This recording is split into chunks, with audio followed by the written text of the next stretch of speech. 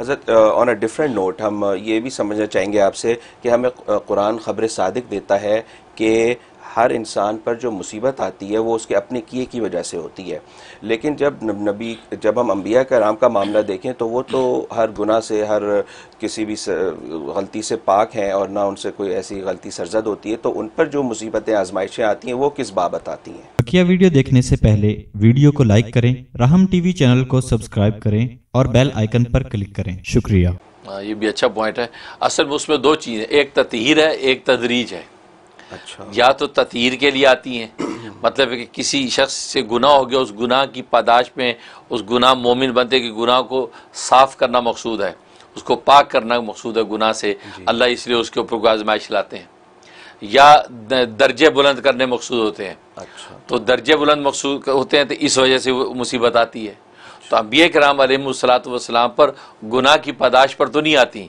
हाँ उनके दर्जात बुलंद करने के लिए अल्लाह तबारक व ताली ऐसे अहवाल ज़ाहिर करते हैं। अच्छा। लिहाजा उन पर आजमाइश आती है। उस आजमाइश की वजह से अल्लाह तबारक व ताली के क़ुरब के दर्जे उनके यहाँ बुलंद होते हैं और उस बुलंदी दर्जात का नफ़ा पीछे उम्मत को भी पहुँचता है। उम्मत क्यों पहुँचता है कि ज़ाहिर है कि नबी बसौकत दर्जे की इंतहा को पहुँचा हुआ है। अब वो नफ़ा किसको पहुँचेगा? तो नबी पाक सल्लल्लाहु अलैहि वसल्लम के गोया कि उन मकाम का नफ़ा उम्मत को पहुँचेगा और उम्मत के कल को वो शाफे बन जाएँगे। तो इसलिए जो है वो हर आजमाइश जो है वो किसी अजाब की वजह से नहीं होती बल्कि ये कि बहुत सी आजमाइशें जो है वो दर्जात की बुलंदी के लिए भी होती हैं। तो अम्बिया कराम पर जो आजमाइशें दर्जे दर्जात की बुलंदी के लिए। माशा बड़ी शदीद और सख्त आजमाइशें आती हैं कराम पे तो। तो वो जाहरी बात है अल्लाह पाक उनको उसका मुतहमल बनाता होगा तो आती हैं। बिल्कुल।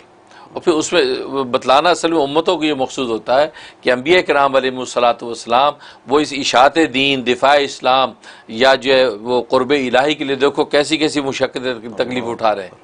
और ये ज़ाहिर इतने ऊँचे मकाम आलिया बगैर मुशक्क़त की मिलती नहीं। क्योंकि कोई भी कीमती चीज़ जो है वो इतनी आसानी से मिलती नहीं है। अब एक माँ को अल्लाह तबारक वाली बच्चा दे के आँखें ठंडी करते हैं लेकिन कितनी तकलीफ़ उठाती है वो? नौ महीने की तकलीफ़ अलग है फिर पैदाइश की तकलीफ़ अलग है। उसके बारे में तो फरमाया कि माँ को जो पैदाइश की वह तकलीफ़ होती है, औलाद सारी ज़िंदगी क़्यामत तक भी अगर खिदमत करती रहे तो उसका अशीर शीर भी हक अदा नहीं कर सकती। तो मालूम है कि जो भी कीमती और आला मकाम होंगे, वो तकलीफ़ के बाद ही मिलेंगे। इसलिए अम्बिया कराम सलाम को नमूना बना के अल्लाह तबारक व ताली हमें लिखा, दिखलाते हैं कि हमने भी अगर दुनिया में कोई दर्जात आलिया हासिल करने हैं तो मुशक्क़त और मुजाद उठाना पड़ेगा, उसके बगैर मंजिलें मिलना आसान नहीं है। बिल्कुल, ठीक है।